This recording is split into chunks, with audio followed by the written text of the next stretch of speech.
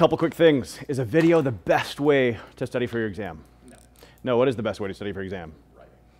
Not writing, but working problems. So the whole point of these videos is not to get you an A, it's to set you up for being able to do a bunch of practice problems. That is kind of the goal. So hopefully, uh, between now and Thursday, you're doing a ton of practice problems. Um, cool. This is also going to be a review, so I'm taking it from the standpoint that you've seen this before, and that's why we're going to move so quickly. So, and obviously you have seen this before. So let's dive in. Element versus compound.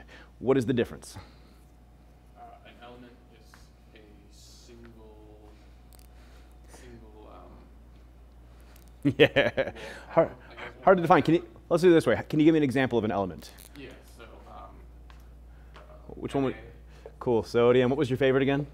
Uh, xenon. Xenon. Notice we can also have like things like diatomics. That's still an element. So there's also another form of oxygen O3, which is a triatomic, but it's still in its elemental form. We can also have something like sulfur, whose most common form is octatomic. So, and speaking of diatomics, you should know your seven diatomics. What are the seven diatomics?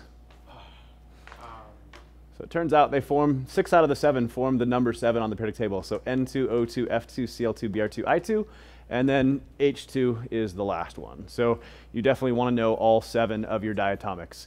So you might have also heard back in high school, never have fear of ice cold beer. So that works too, but you need to know all seven. End of the day. So give me an example of a compound. um, NaCl. Awesome. NaCl, we'll learn he's an ionic compound. There are also molecular compounds like water. So now, can you tell me what is, makes a compound different from an element? Uh, compound is a combination of two elements. Two or more. Two or more. So in this case, yes, a compound is a single substance that contains two or more elements, whereas an element is a single substance that's just a single element. Whether it's monatomic, diatomic, triatomic, or anything else is besides the point. Which brings us to pure substance versus a mixture. So pure substance versus a mixture. Any single element or any single compound is a pure substance. Whereas a mixture is more than one single substance. So I could have two elements. So say we have air. What is air mostly made up of? Well, it's actually not mostly oxygen, but that's the second highest component. What's the first highest? Uh, carbon. It's actually n- actually nitrogen. Yeah, there's a teeny bit of carbon dioxide in there.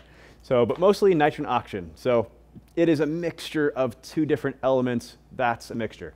So, we could also have like salt water, which is a mixture of salt and water. So, if you combine two compounds together, so that's a mixture as well. Or you could just have an element and a compound mixed together as well. But if you have multiple elements, multiple compounds, or more than one of each, that's a mixture. Now we have two different types of mixtures. We have homogeneous and heterogeneous. Sometimes they leave that second E out, or I guess really like the fourth E in his case. But we call this just homogeneous and heterogeneous, whatever. So what is the difference? Uh, homogeneous is going to be, well, the, the prefix homo means the same. Homo means the same. Hetero means different. Hetero means different. So what is the same and what is different in these two types of mixtures? Uh, the, the.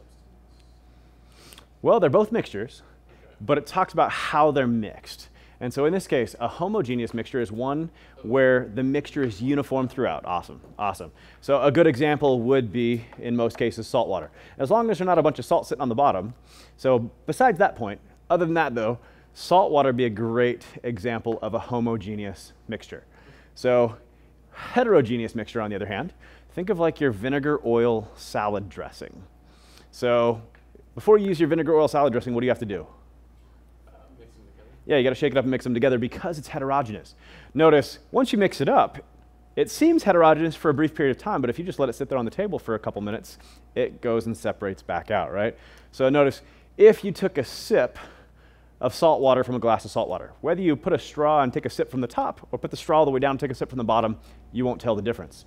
But if you take your vinegar oil salt, um, sorry, your vinegar oil salad dressing, if you take a sip from the top or put the straw all the way down in the bottle and put, take a sip from the bottom when it's not mixed, you will definitely taste the difference.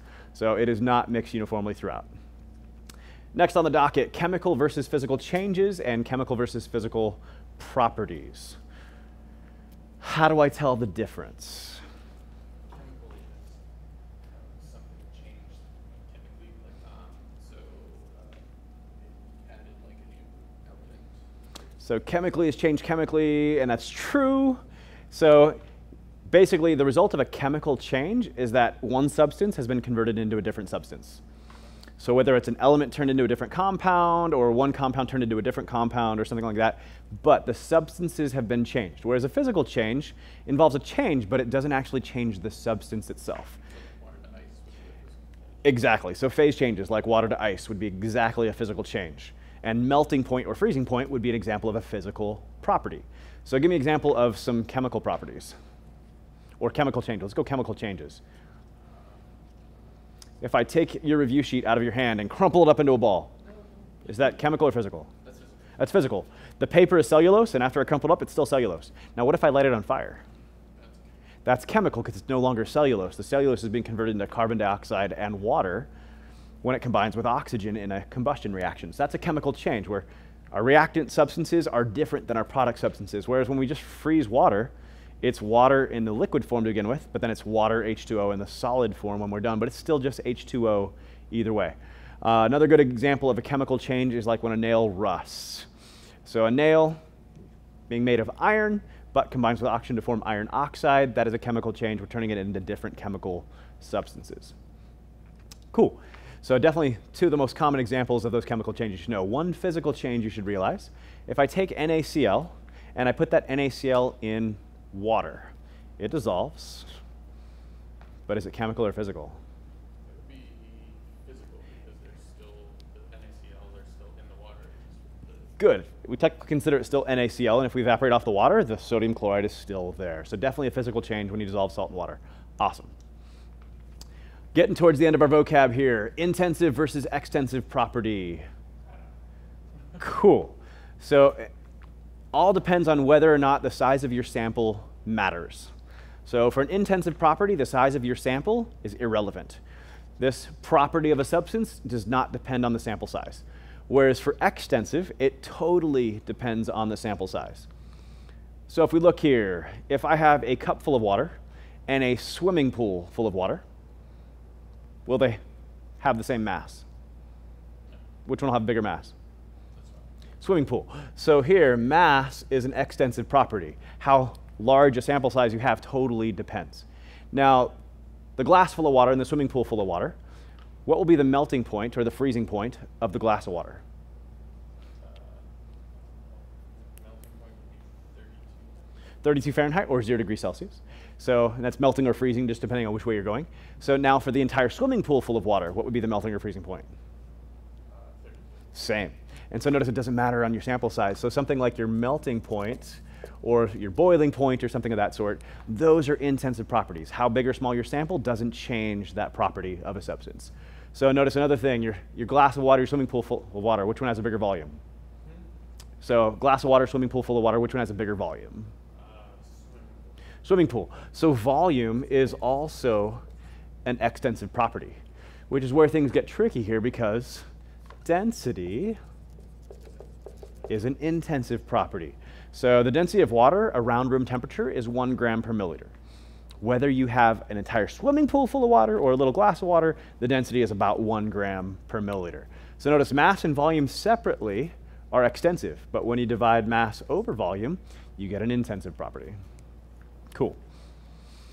Last piece of vocab here precision versus accuracy. In our everyday vernacular, we kind of just treat these things as exactly the same thing, but they are not. What's the difference? Precision is going to be hit a certain, uh, hit it at a certain point, like many times over. Awesome. So I like to think of it as repeatability of a measurement or something like that. Or in the case of, say, a dartboard, there might be your bullseye, and whether you hit your bullseye a bunch of times, or whether, you know, you got a second archer who comes up and doesn't hit the bullseye a bunch of times. Both of these archers, the red archer and the blue archer here, they are both very precise. They're able to hit the same point over and over and over again. That's precision. Whether you're hitting the point you're aiming for is besides the point. But that's what accuracy is all about. So in this case, which archer is actually being accurate and precise? Yeah. So this guy here is both accurate and precise, the red one, but the blue one, he's precise, but he's not accurate. As long as, it, well, I mean, if he's aiming for that point on the target, well, okay then. But if he was aiming for the bullseye, he's precise but not accurate. Could you be accurate but not precise? How so? Like if you hit it like on the top and then on the bottom. Yeah, it's kind of hard to envision on, on this, but you know, if you like hit around the edges, which averages out to the middle or something like that, and so normally in this context we probably wouldn't talk about it, but if you're measuring, you're taking a bunch of measurements. Let's say you take a bunch of measurements of the same thing. And let's say you never actually get all that close to the true value, but when you average out all the measurements, the average comes out close to the true value. That would be an example where you're accurate, but you're not very precise. Make sense? Cool. Um, you should definitely know the difference between precision and accuracy.